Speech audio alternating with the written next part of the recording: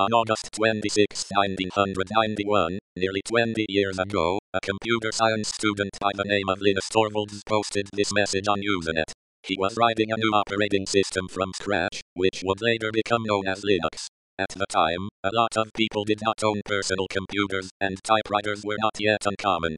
During the next 20 years, what started as a one-man effort became a massive community project involving dozens of thousands of people spread all across the globe.